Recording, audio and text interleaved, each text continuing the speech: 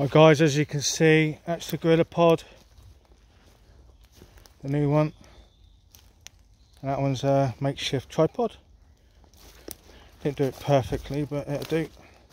It's done the job, it's filmed what I needed to do. And there's the top. Please like, comment, subscribe, see you in another.